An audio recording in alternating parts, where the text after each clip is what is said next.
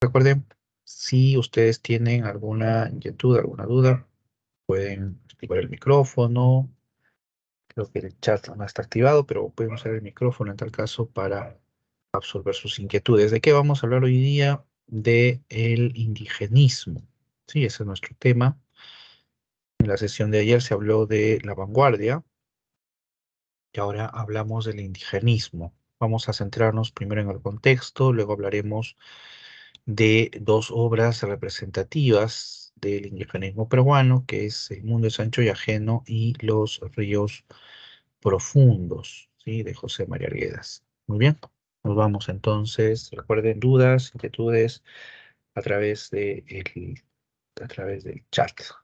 A ver, un segundo por acá.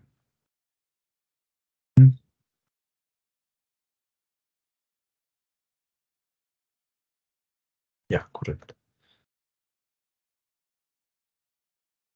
Segundo. Mm, correcto. Ya, ahora sí, entonces nos vamos. A ver, primero el indigenismo.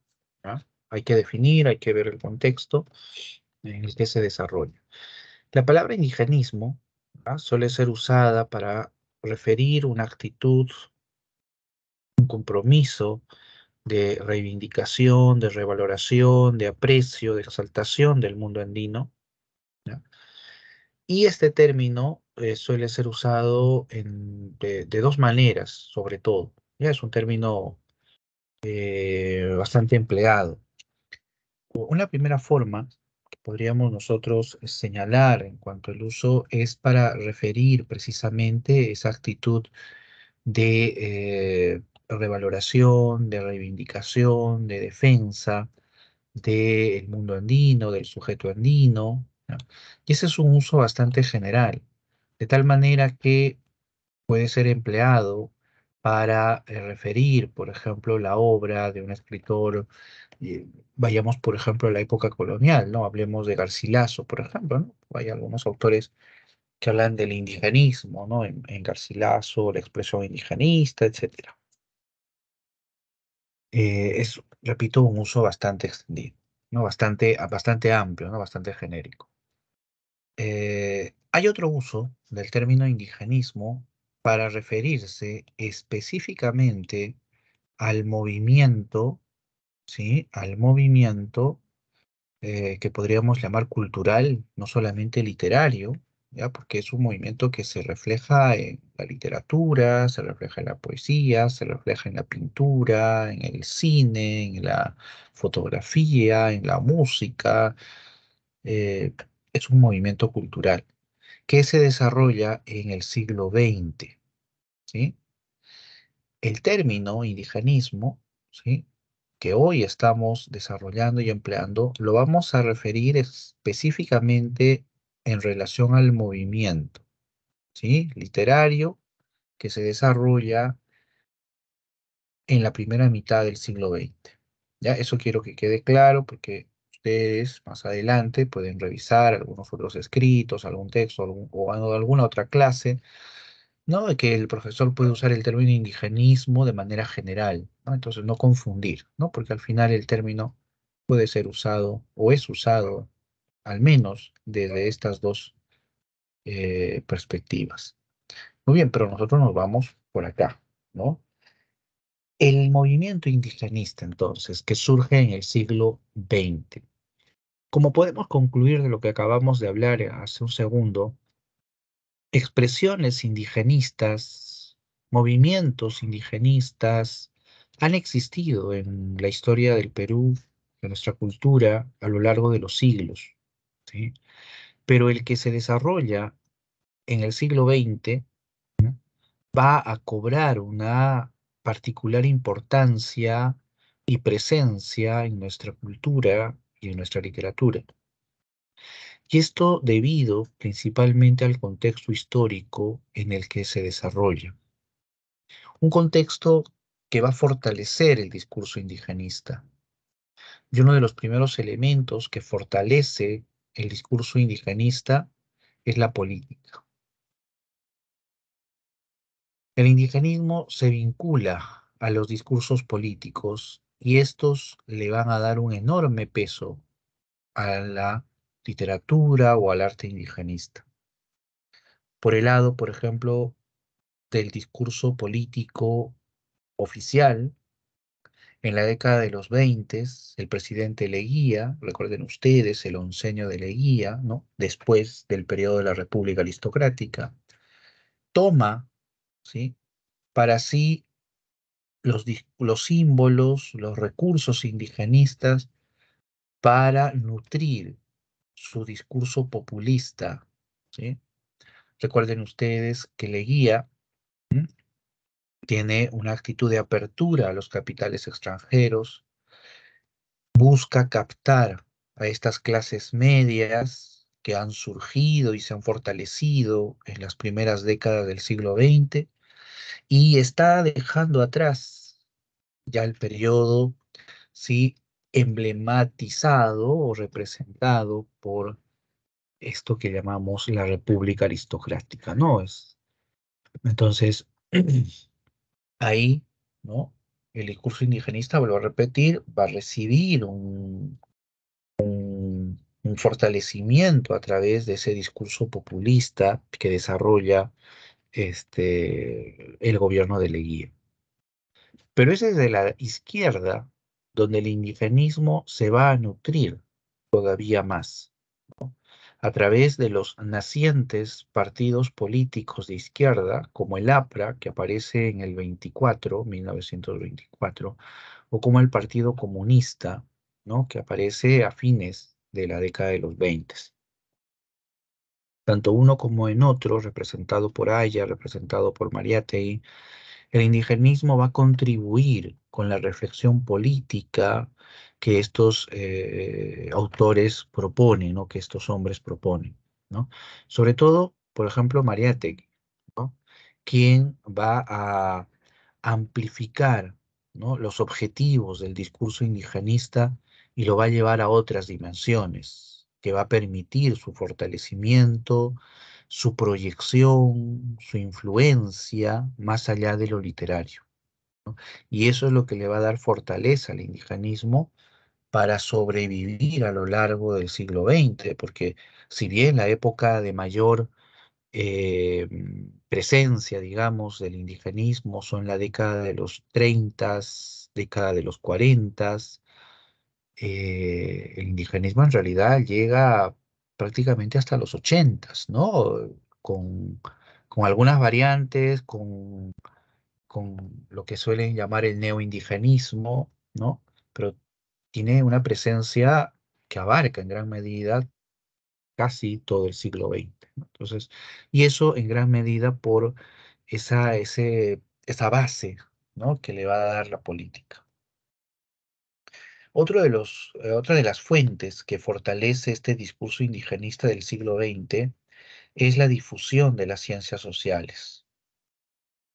La antropología, la historia, la etnología, la arqueología, van a permitir desarrollar un discurso eh, más profundo, coherente, verosímil, que entrega a los intelectuales y escritores los recursos necesarios para fortalecer sus, sus creaciones literarias, ¿no? para fortalecer su discurso, su narración, ¿no? logrando un mayor poder de convencimiento, un mayor, un mayor realismo, ¿sí? una mayor verosimilitud.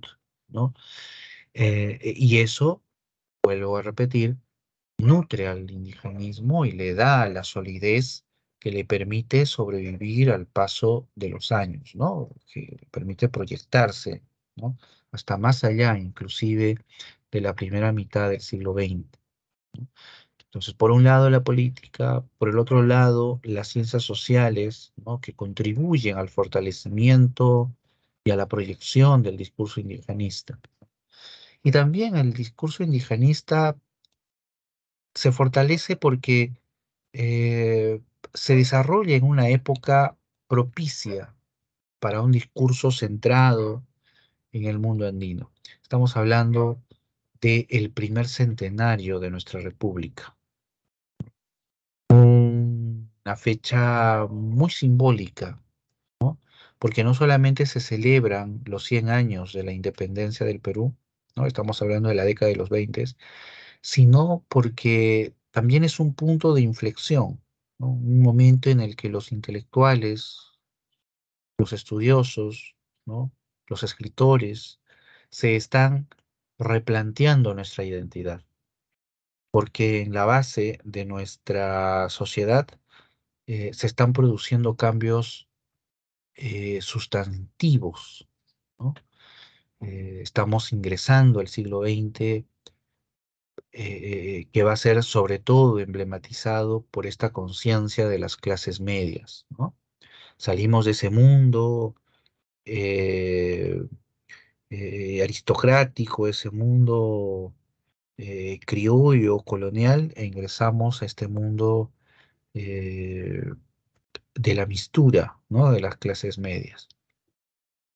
Entonces se repiensa, se, replantea, mejor dicho, la conciencia de nuestra identidad, ¿no? Y en, ese, en esa reflexión, el indigenismo tiene mucho que decir, ¿no? Tiene mucho que aportar y contribuir en esa, eh, repito, reflexión. Entonces, todos estos elementos, la política, las ciencias sociales, la época de reflexión en torno a nuestra identidad, son el combustible que permite al indigenismo eh, desarrollar un discurso potente, eh, fogoso, que proyecta una propuesta de nación y que le permite, como dije, sobrevivir durante muchos años en la historia.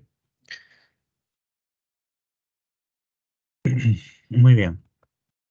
Antecedentes del indigenismo. ¿Cómo surge el indigenismo del siglo XX?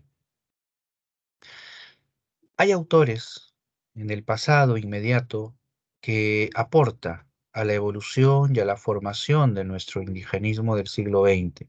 ¿no? Entre los primeros antecedentes relevantes está la figura de Manuel González Prada y Clorinda Mato de Turner. Ambos autores ya los hemos trabajado, ya los han trabajado ustedes, ¿no? Los han revisado, Pero desde el realismo, Aquí lo vamos a comentar desde el punto de vista del indigenismo, Ellos son quienes aportan a este discurso al plantear, ¿no? la importancia del sujeto andino dentro de la sociedad, ¿no? Al denunciar los abusos que padecen los indios, ¿no? Al plantear una renovación social sobre la base del sujeto indígena. E, esos son los, los, grandes pilares que, que construyen Manuel González Prada y Clorinda Mato de Turner, ¿no? Sin embargo, ¿no? su visión todavía es lejana, ellos son, digamos, precursores, ¿no? Porque contribuyen con la formación, pero presentan algunos elementos que los distancian, los alejan del objetivo del indigenismo, ¿no? Uno de ellos es la visión paternalista que expresan sobre el indio. La visión paternalista es aquella que eh, eh, si bien exige o bien asume la defensa del indígena, su protección, eh, lo hace sobre la base de eh, comprender o de concebir al indígena como un ser inferior. ¿sí? Vamos a usar esa expresión. Donde el personaje criollo es el encargado de reivindicar al indio. ¿no? Recuerden ustedes en Aves sin Nido, ¿no? Donde la pareja de criollos que viene de la ciudad, los marín, son quienes van a reivindicar a los indios, son los que van a proteger a las huérfanas yupanqui, y es más, ¿no? Son, las, son los que planean llevárselas a la ciudad. Es como en el discurso de González Prada, ¿no? El discurso en el Politeama, donde eh, eh, si bien se habla de que el Perú está formado por la muchedumbre de indios, dice él, Más adelante dice que el indio, ¿no? Alcanzará la dignidad de hombre solo cuando aprenda a leer y escribir. Entonces, lo que tenemos nosotros es una visión eh, de protección contra un ser indefenso, ¿no? Y entonces la, imagen del criollo se impone sobre la, sobre la imagen del indio, ¿no? Entonces, es eso lo que está presente en el discurso de Manuel González Prada y Clorinda Mato, ¿no? Eh, que, no es un demérito en realidad, ¿no? Sino se trata de la época, ¿no? Una época, eh, digamos, eh, muy adversa para ese tipo de pensamiento, ¿no? Recuerden, si no, lo que le pasó a Glorinda Mato, ¿no? Cómo fue perseguida, cómo fue, este, inclusive terminó en el exilio, su casa saqueada, ¿no? Terminó, terminó excomulgada, Y todo ello. Bien. A inicios del siglo XX también encontramos antecedentes, autores que aportan a la visión del indigenismo, y uno de ellos es Enrique López Albújar. Para muchos considerado el iniciador del indigenismo en el Perú, es sin duda su libro Cuentos Andinos el que produce una decisión notable en el desarrollo del indigenismo en el Perú. ¿Por qué? Eh, cuando en 1920 López Albújar publica Cuentos Andinos, para esa época, el indio era normalmente retratado por el romanticismo o por el modernismo, ya sea con el primero idealizándolo, romanticismo, ¿no? idealiza al indígena, símbolos de grandes valores, la imagen del buen salvaje, o el modernismo, que tiende a estilizar la imagen del indio, convertirlo en una suerte de símbolo estético. Eh, exótico. Entonces, ante esas imágenes, bastante idealizadas, esteticistas del indio, en 1920 López Albújar causa una conmoción con su libro Cuentos Andinos, porque eh, muchos de los relatos de ese libro presentan una visión eh, brutal, descarnada del sujeto indígena, porque ahí los personajes andinos son criminales, asesinos, sádicos, perversos, ¿no? crueles, eh, y con eso rompe el estereotipo romántico y modernista que hasta ese momento predominaba en nuestra literatura, causa una conmoción López Albújar, tanto que mm, eh, se granjea López Albújar eh, hacia el futuro, inclusive una crítica que le fue siempre adversa, ¿no? Una crítica que lo juzgó de manera muy brutal también a López Albújar. Eh, acusándolo de, adjetivándolo, ¿no? De manera, de manera este, peyorativa. Eh, pero lo indiscutible es que produce un gran corte, cambia la visión sobre el indio eh, y da inicio ¿sí? a una serie de escritores, entre los cuales está Ciro Alegría, por ejemplo, ¿no? y José María Arguedas, ¿no? Es muy, emblemático que el propio Ciro Alegría vea en Enrique López Alújar al primer escritor indigenista, ¿no? Cuando Ciro Alegría eh, escribe el prólogo a, a las memorias que publica Enrique López Alújar, ya anciano, más o menos en la década de los 60, eh, Ciro Alegría escribe en ese breve prólogo, ¿no? tiene una carilla y media, escribe señalando que eh, López Albújar fue el primer escritor que retrató al indio de carne y hueso, dice. Entonces, hay un antecedente ahí, ¿no? Lo mismo sucede con, con, con José María Arguedas, ¿no? Para él, López Albújar es también un antecedente, ¿no? Eh, cuenta Arguedas en una anécdota cómo se acercó a leer cuentos andinos y cómo lo impactó, ¿no? cómo impactó esos relatos tan eh, truculentos en algunos casos que lo llevó a Arguedas a escribir sobre el indio. ¿no? Precisamente. Eh, entonces, importante López Albujar, ¿no? Pero eh, lo que demuestra también es una visión parcializada, ¿no? Una visión parcializada, hay ciertos prejuicios, estereotipos que predominan todavía en cuentos andinos, pero el gran aporte de, de López Albújar es producir precisamente esa decisión en el desarrollo del indigenismo, ¿no? Eh, otro gran antecedente es José Carlos Mariátegui.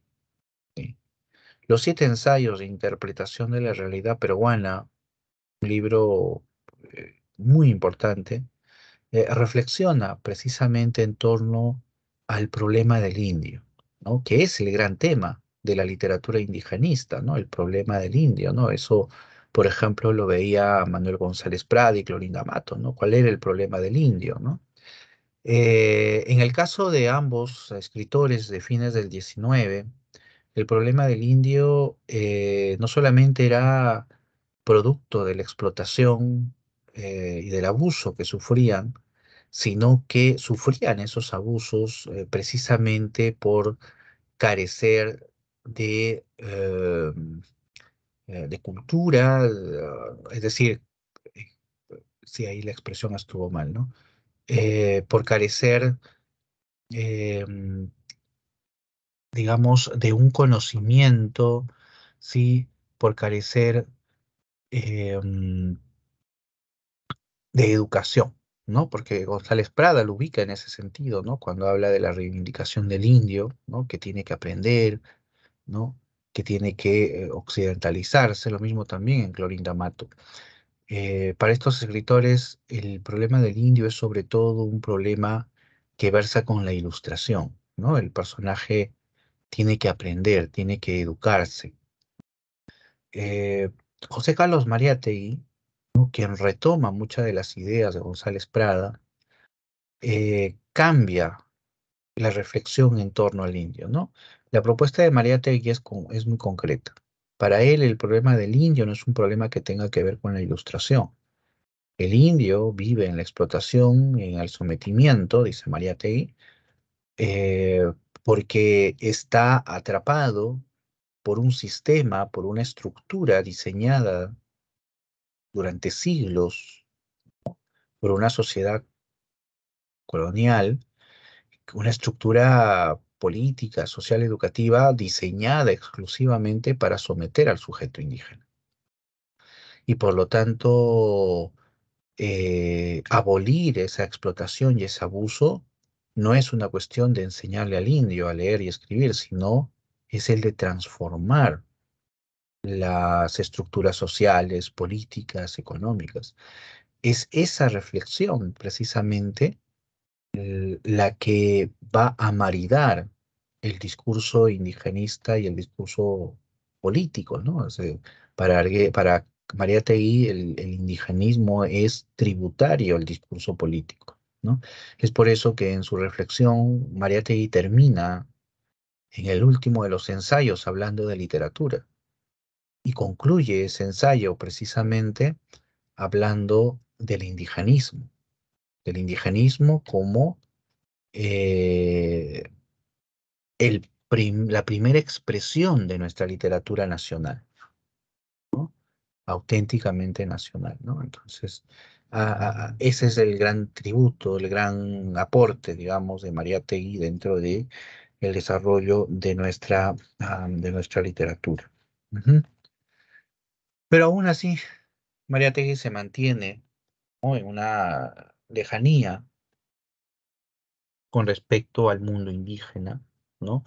Su conocimiento no es todavía profundo, intenso sobre el mundo indígena, eh, y en ese sentido se sitúa, ¿no? En, esta, en este espacio de los antecedentes. Bien. Bien. Muy bien, entonces, visto las características del indigenismo, visto los antecedentes y sus aportes, solo queda un punto que refiere a las zonas del indigenismo. Acá la idea es muy concreta. Lo que pasa es que la, narrativa indigenista desarrolla, eh, a pesar de las afinidades que tiene, una temática eh, diferente, eh, nos presenta realidades, digamos, no homogéneas, ¿no? por decirlo de alguna manera, y esto debido a que el espacio que representa en las obras, el espacio andino, eh, es diferente dependiendo de la zona en la que nos ubiquemos nosotros, ¿no? Eh, y esto se debe principalmente a cómo esos espacios han asimilado el conflicto originario del Perú, ¿no? Que es ese conflicto que enfrenta al mundo occidental y al mundo andino. En la zona norte ese conflicto tiene casi una resolución, ¿no? La modernidad se impone, ¿no? Se desarrolla, ¿no? Y ese es el mundo de las novelas de Ciro Alegría, ¿no? El mundo de las haciendas, de la comunidad, el comunero, el castellano. Muy diferente al mundo de José María Arguedas, quien se ubica en el sur, donde la modernidad ¿no? Producto de los conflictos culturales, eh, de las diferencias culturales, mejor dicho, eh, la modernidad no ha impactado, ¿no? no ha profundizado en las raíces y entonces ese mundo, esa conciencia mítica está mucho más presente ¿no? en esa realidad. Es por eso que en las novelas de Arguedas, ¿no? Eh, si bien está, por ejemplo, el gran tema de las haciendas, el abuso de los indios, eh, nos presenta un mundo mucho más, em, digamos, em, más antiguo, más tradicional, sería la palabra, que en el mundo de, el mundo de Ciro Alegría, ¿no? En el mundo de Arguedas, el indio, el, sujeto andino, mejor dicho, ¿no? Expresa ese pensamiento mágico, eh, esa visión animista, religiosa de la realidad, ¿no? Que no es el mundo de, Ciro Alegría, ¿no? En, el mundo de Sancho y Ajeno no hay esa eh, visión del mundo andino, religioso, mítico, como lo encontramos en Arguedas, por ejemplo. ¿no? En el centro del Perú también ¿no? tiene un representante y también hay una realidad diferente. ¿no? Manuel Escorza, en su novela Redoble por Rancas, nos habla también del conflicto andino, del sujeto, la comunidad, eh, pero el antagonista, digamos, no es el típico hacendado o la hacienda, ¿no? El típico conflicto con el hacendado, sino que la comunidad de Rancas eh, se enfrenta eh, al capital extranjero, ¿no? al imperialismo, como dice la novela.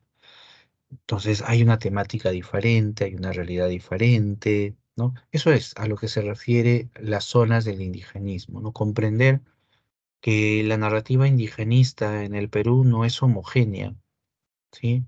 No es plana en cuanto a los mundos y las ideas que propone, sino que es eh, bastante rica por la variedad de circunstancias ¿no? que retrata en sus, eh, en sus textos.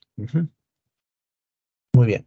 Dicho esto, nos vamos a hablar rápidamente de los representantes del indigenismo. Vamos a empezar con Ciro Alegría que es el, digamos, anterior a Arguedas, ¿no?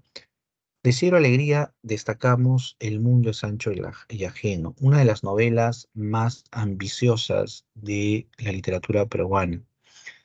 Eh, Ciro Alegría es un escritor eh, que eh, vincula su narrativa al discurso político también. Tal es así que El mundo es ancho y ajeno es una novela podemos calificar como de denuncias políticas, una novela eh, de un enorme tono crítico con la sociedad y la política. El mundo de Sancho y Ajeno nos retrata un contexto social de la primera mitad del siglo XX, ¿no? Y esa es precisamente la denuncia de la obra, ¿no? En ese contexto, las haciendas, mejor dicho, el gamonalismo, ¿sí? fagocita y destruye las comunidades andinas, a partir de quitarle sus tierras y de someter ese mundo apacible y armonioso a la explotación y al abuso de las haciendas, ¿no? El feudalismo, el poder económico, ¿sí? el abuso en las condiciones extremas de trabajo, ese es, ¿no? Esa es la realidad que eh, apabulla ese mundo andino, ¿no? esa comunidad andina. Eso es lo que la novela básicamente denuncia y en ese sentido busca la reivindicación ¿no? de esa comunidad andina. Muy bien, esa temática se desarrolla a través de la historia de la comunidad de Rumi, ¿sí? Una comunidad que es un símbolo de la armonía, la solidaridad, la fraternidad, donde todos los pobladores trabajan no para sí, sino para la comunidad, y donde la comunidad también responde a favor de cada uno de los campesinos. Es un mundo de fraternidad, solidaridad, ¿sí? de ayuda. Pero atraviesan un problema. Álvaro Amenábar, el hacendado de Humay, el gamonal de la hacienda Humay, ha interpuesto una, denuncia contra Rumi. Los acusa de haber usurpado sus tierras. Amenábar afirma que las tierras que cultiva Rumi y, que usa para pastar sus animales son de él. Y demostrando su enorme, su enorme poder, fuerza y, y ambición, no duda en sobornar a los funcionarios, a las autoridades, no duda en pagar a testigos falsos e inclusive amenazar a los testigos de la comunidad. La novela se inicia precisamente en ese contexto cuando Rosendo Maki regresa a Rumi con las noticias sobre el juicio. Álvaro soborna al abogado que la comunidad ha contratado, Bismarck Ruiz, quien al final se colude con Álvaro Amenábar y el resultado es que la comunidad pierde las tierras. En ese momento los comuneros, por un lado hay un grupo que quiere enfrentarse a Álvaro Amenábar, pero Rosendo Maki, el alcalde de la comunidad, les dice que no, que si se enfrentan perderán, porque Álvaro traerá al ejército y el ejército los va a aniquilar. Y entonces predomina la opción de Rosendo, que es la de dejarle las tierras a Álvaro e irse a vivir a otro lugar. Para Rosendo el objetivo era salvar la comunidad, ¿no? Esa es la idea. Así que al final, como dije, predomina la visión de Rosendo y los comuneros abandonan sus tierras y se van a vivir a un lugar llamado Yanañahui, que es un lugar inhóspito, ¿sí? Donde el viento helado, donde no hay agua, donde no se puede sembrar ni los animales pueden pastar. Es un momento de crisis para Rumi que trae consigo la muerte y el abandono, ¿no? Muchos de los comuneros se va de la comunidad, se va de Rumi a buscar fortuna, se van a vivir a otros lugares, lo interesante de esta secuencia es que en la novela se cuentan muchas de las historias de los comuneros que, que migran, ¿no? Pero ninguna historia termina bien. Todas terminan siempre marcadas por el abuso o por la muerte. Eh, en ese conjunto de anécdotas se puede inferir una idea que la obra nos plantea, ¿no? que el único lugar en el que el comunero puede ser feliz es en su comunidad. No hay otro lugar. ¿no? Eso lo entiende Rosendo Maki, por eso la defensa que él esgrime por la comunidad, ¿no? por conservar la comunidad. Sin embargo, esta época también es terrible porque muere Rosendo Maki. Acusado de abigeo, lo encierran en la cárcel y ahí inclusive lo torturan porque pretenden de que él delate Alfiero Vázquez, quien había huido ¿no? de la cárcel, se había escapado, eh, lo matan, ¿no? Matan a Rosendo Mackey. Y con él termina una era en la comunidad. Después de Rosendo se nombra un alcalde interino y luego aparece Benito Castro. Benito Castro es un comunero de Rumi. Nació en Rumi, aunque joven, tuvo que abandonar el pueblo y tuvo que huir, en realidad, y tuvo y, recorrió. Recorrió las haciendas. Se fue hasta la costa llegó a la ciudad, llegó a Lima. Y en todo ese recorrido, lo que queda en la mente de, em, de Benito, ¿no? Son las injusticias que padecen ¿no? Los trabajadores, los, los, el sujeto andino en todos estos lugares. Y cuando llega a la ciudad de igual manera. Se vincula Benito con un sindicalista, ¿no? Y a través de él observa, ¿no? La lucha, etcétera. Todo esto transforma a Benito. De tal manera que cuando Benito regresa a la comunidad, no es un comunero cualquiera, ¿no? Y eso es lo que la novela busca resaltar sobre todo hay un pensamiento de modernidad, hay una conciencia nueva que mueve a Benito. Y eso se evidencia, por ejemplo, cuando se produce el segundo juicio. Eh, Álvaro nuevamente acusa a Rumi de apropiarse de sus tierras. Y les entabla un juicio, repito, y Rumi pierde nuevamente ese juicio. Es ahí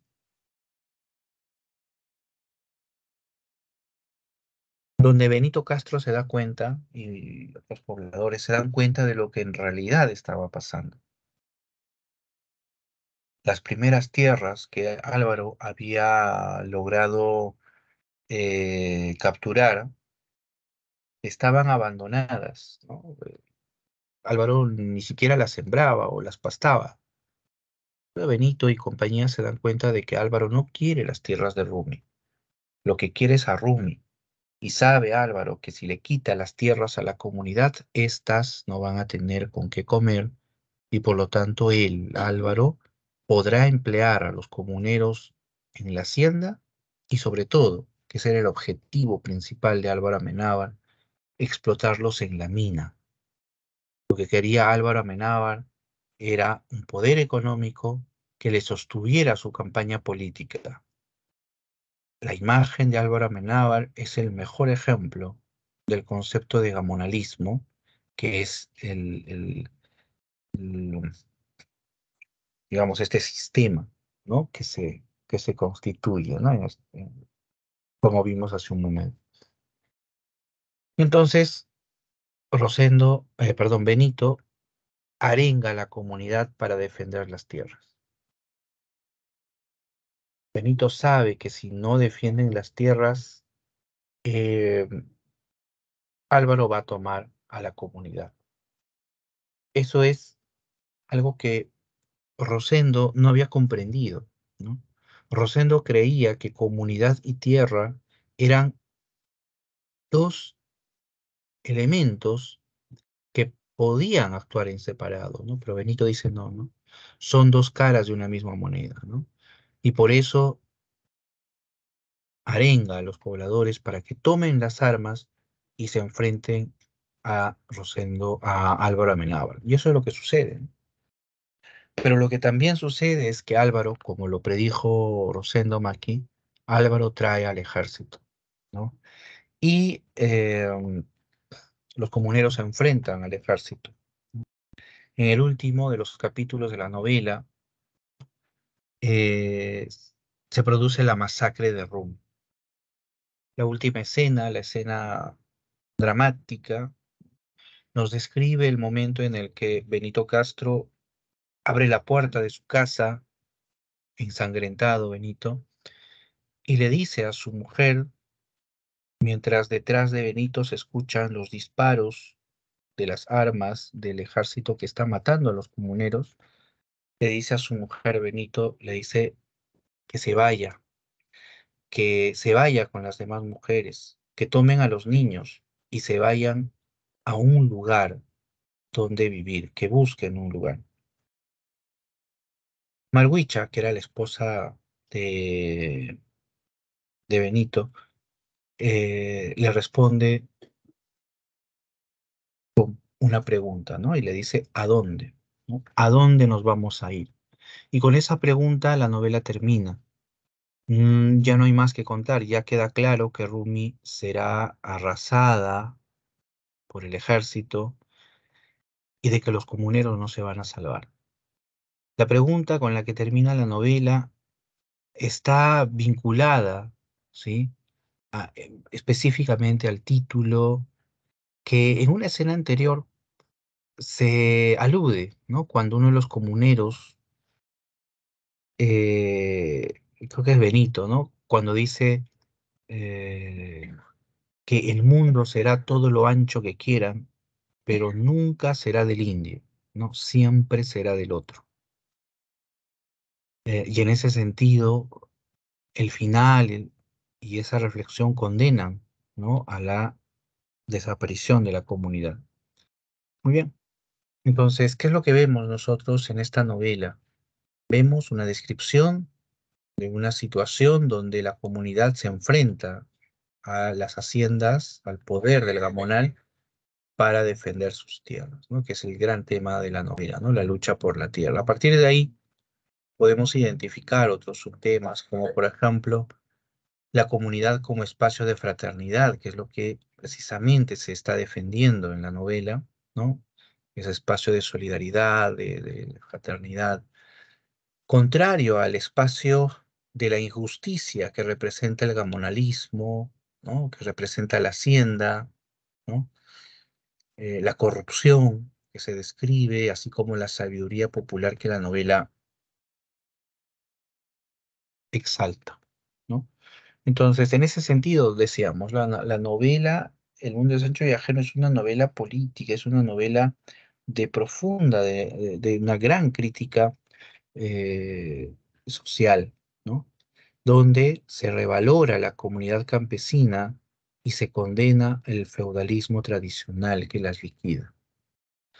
Muy bien. Esa es la idea de esta novela. Muy bien. Nos vamos ahora a Los ríos profundos de José María Arguedas, una novela que es, eh, digamos, eh, la más emblemática del indigenismo. ¿Qué es lo que nos propone Arguedas en Los ríos profundos? una visión interior del sujeto. Algo que en, en el mundo de Sancho y ajeno no, no nos brinda. La mirada del mundo de Sancho y ajeno es más externa, es una mirada que involucra ¿no? A la sociedad, de la comunidad, ¿no? los conflictos fuera de ella también. Pero en el caso de los ríos profundos, Arguedas nos entrega una obra que interioriza que se proyecta, mejor dicho, en el mundo interior del personaje, que es un sujeto andino, Ernesto, un joven que creció en el mundo andino, sobre todo guiado por su padre, que es quien le enseña, que es quien le habla de esa dimensión mágica, de esa dimensión religiosa del mundo andino. Entonces, eh, Ernesto crece con esa imagen formada iremos hasta idílica de ese mundo, ¿no? Pero el viaje que realiza con su padre rumbo a Abancay es lo que le va a abrir, le va a ir abriendo a, Ernesto eh, una brecha en su mundo interior, ¿no? Que Ernesto empieza a, enfrentar esa realidad compleja, ¿no? Que este, es nuestra realidad. Cuando el personaje llega al Cusco, a la ciudad del Cusco, eh, Ernesto llega con enormes expectativas, eh, dichoso por encontrar los grandes relatos que su padre le había contado, Pero cuando llega al Cusco se tropieza con, la, eh, con una realidad no solamente cruda, eh, sino em, eh, devastada, ¿no? Sombría. Esa imagen de Ernesto viendo los murales incaicos eh, usados como letrinas, ¿no? descuidados, ¿no? Y además sirviendo de soporte a las casas coloniales. Esa imagen de los, eh, de los pongos, ¿no? De los que trabajan en las haciendas, en la hacienda del viejo, en la casa del viejo, ¿no? Cuando van a visitarlo. Esa imagen que Ernesto describe como la de gusanos, ¿no? Refiriéndose a los indios que conmueve totalmente a Ernesto, ¿no? Porque Ernesto, vuelvo a repetir, tiene una mirada eh, acaso más idealizada, eh, vitalista de ese mundo, ¿no? Mágico. Muy bien. Padre e hijo abandonan el Cusco y se van rumbo a Bancay. El padre tiene un trabajo en una hacienda fuera de Abancay y entonces el plan es dejar a Ernesto en el colegio internado de Abancay. Y ahí es donde se desarrolla en gran medida la novela. El colegio es un espacio de marginación en la novela, es un espacio de violencia, es un espacio en la que el sujeto se deshumaniza, ¿no? Porque los, los, los, estudiantes del colegio eh, practican, aunque de una manera reducida, todas las taras, las, eh, ¿no? todas esas actitudes de discriminación, de odio, de violencia, de machismo, ¿no? que eh, contiene la sociedad. ¿no? Es como un pequeño microuniverso. Eh, el gran problema de Ernesto es que esa realidad y, la lejanía del padre lo, le producen una enorme soledad a este Ernesto, ¿no? Que viene a ser el desarraigo, el sentimiento de desarraigo, ¿no? El sentimiento de desarraigo no es simplemente la lejanía. Del lugar donde uno crece o donde uno vive, sino se trata de perder el vínculo, ¿no? desarraigar, es decir, perder la raíz, ¿no? Arranchar esa raíz, ¿no? Y eso es lo que experimenta Ernesto, ¿no? No solamente la melancolía porque su padre lo ha dejado, ¿no? O porque no está en la comunidad que él siempre recuerda. Eh, no se trata solo de ello, el desarraigo, sino de una fractura interior del personaje, ¿no? Porque él siente que esos vínculos con ese mundo se están rompiendo, ¿no? Y es por eso que el personaje eh, busca eh, reencontrar esos vínculos, ¿no? Por eso el personaje, eh, por ejemplo, muchas veces huye del colegio, ¿no? Se va del colegio a buscar reencontrarse con esos vínculos, ¿no? Por ejemplo, es muy común encontrar a Ernesto en las chicherías, ¿no? Esta suerte de cantinas, ¿no? Donde llegaban, pues, los indígenas, los, mestizos, ¿no? Los, desde lugares lejanos, los músicos sobre todo, ¿no? Ernesto iba sobre todo por la música, ¿no? Que era el modo en la que él encuentra ese vínculo nuevamente con el mundo cuando se produce la revolución de las chicheras, ¿no? Y Ernesto tiene que, eh, o Ernesto, ¿no? Eh, eh, se siente impulsado a irse con ellas. Las chicheras, que son este grupo de, mujeres que se sublevan en protesta porque les han quitado la sal, ¿no? y aquí una pequeña nota a pie de página rápida. La sal es un insumo fundamental para la existencia de estas personas, porque la sal no es solo un condimento, ¿no? Tiene otros usos muy importantes y entonces las chicheras por eso se levantan en armas ante el hecho de que les hayan quitado la sal, Ernesto quiere irse con ellas, ¿no? Se identifica con su, con su actitud, con sus reclamos. Ernesto, por ejemplo, suele salir del colegio para irse a las afueras de la ciudad. Principalmente, Ernesto lo encontramos varias veces en la novela junto al río Pachachaca, junto al puente Pachachaca, ¿no? que es el que lo atraviesa. Porque Ernesto siente, una identificación con el río. ¿no? Hay un pasaje en la novela donde Ernesto eh, se refiere al río como si fuera el mismo, ¿no? El Pachachaca y él son uno solo, no hay una identificación entre los dos. Pero el elemento, digamos, más eh, eh, poderoso en la novela a ese respecto es el trompo. Un trompo que su amigo Antero le reclama, le reclama, perdón, le regala, y que para Ernesto es un elemento mágico, es un, es un objeto mágico, ¿no? Que le permite precisamente a Ernesto reencontrarse con esos vínculos, ¿no? Hay una escena muy representativa de esa, esa idea, que es cuando Ernesto, eh, su amigo Antero ve a Ernesto que sale de la dirección, ¿no? Sale llorando Ernesto. Y su amigo le, le dice, ¿no? Que le hable a su padre y que el trompo lo puede ayudar. Y van y realizan un ritual, Ernesto tira el trompo, el trompo empieza a zumbar y Ernesto le habla al padre. Se confiesa y le declara, ¿no? Que, que, lo va a esperar, que va a ser valiente. Y cuando termina, Ernesto termina este, bailando junto al trompo. ¿no? Eh, y si, siente nuevamente esa eh, reconexión ¿no? con ese mundo mágico, religioso que propicia el trompo. El trompo es un elemento muy importante en la novela, es casi un elemento mágico ¿no? dentro de ese mundo de, Ernesto.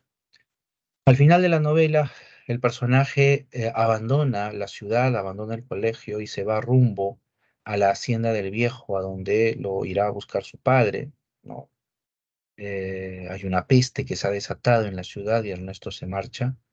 Y se marcha Ernesto eh, con la confianza de que los rezos de los indígenas va a vencer a la peste. Lo que en realidad nos deja la novela es precisamente esa eh, esa fractura del personaje, ¿no? La novela explora ¿no? esa identificación con el mundo andino, esa, ese, la, explora, explora la naturaleza del sujeto andino, pero también nos habla del desarraigo, ¿no? del abandono, de la pérdida que padece a partir de la violencia, la explotación, el mundo opresivo, ¿no? El personaje pretende esa vinculación con la naturaleza, con el mundo, ¿no? Que es lo que le da precisamente esa identidad que busca. Muy bien, vamos a presentarles a ustedes las claves de la semana. Por acá, un segundo. Muy bien, aquí estamos. Sí, eh, captura de pantalla, ¿sí? Por favor. Si no hay alguna pregunta, alguna duda, vamos a concluir aquí nuestra sesión. Muy bien, les agradezco a ustedes mucho su atención y eh, ya nos estaremos encontrando probablemente en las clases regulares. Muchas gracias, cuídense mucho, hasta luego.